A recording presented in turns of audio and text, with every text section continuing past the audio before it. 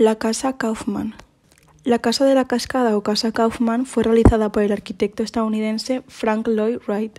Esta vivienda se encuentra en Estados Unidos, en concreto se alza en una zona boscosa de Pensilvania, sobre la ladera de un barranco, sorteando la caída de agua del arroyo Bear Run.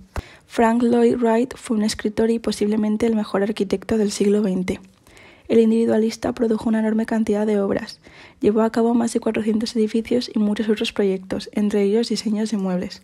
En sus inicios trabajó para el gran arquitecto de la Escuela de Chicago, Louis Henry Sullivan, quien le influiría decisivamente. Su estudio de arquitectura se convirtió en una especie de escuela donde se formaron muchos arquitectos. Situamos este edificio en la época contemporánea, ya que está fechado en el año 1935.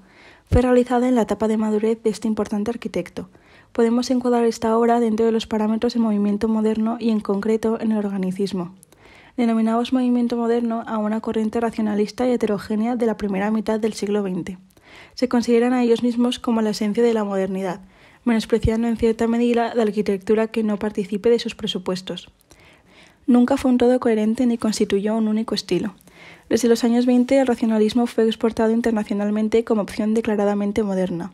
El racionalismo propugna una arquitectura basada en líneas rectas, sobria y sin concesiones del ornamento. El término arquitectura orgánica fue acuñada por Frank Lloyd Wright. Buscan una identificación del edificio con su entorno natural, una armonía de la arquitectura con la naturaleza.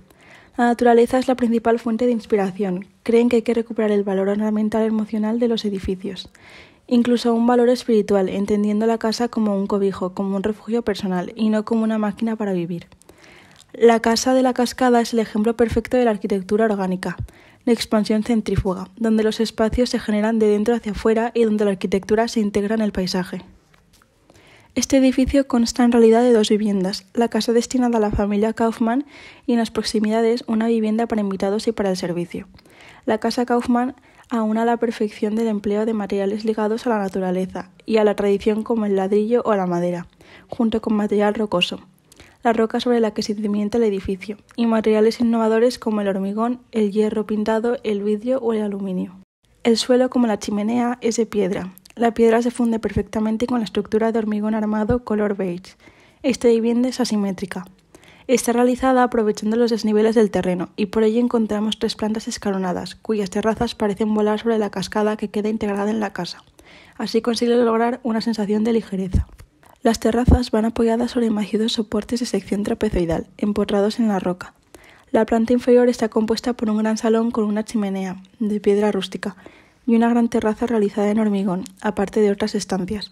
La chimenea es el objeto central de la casa. En la planta superior hay una segunda terraza perpendicular con respecto a la de la planta inferior y sobresale de ella. En esta planta se encuentran los dormitorios y los baños. El último piso es un estudio con dormitorio y terraza. Wright juega con los volúmenes horizontales y verticales y también con la chimenea y las ventanas dinámicamente. Los grandes ventanales se extienden de una planta a otra.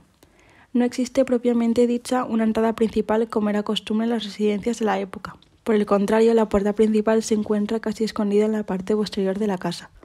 Todo en la casa fomenta el disfrute del paisaje del entorno. El sonido de la cascada se percibe desde todos los puntos de la casa. La función o finalidad de esta obra fue, según deseaban los clientes, la construcción de una segunda vivienda para las vacaciones y los fines de semana.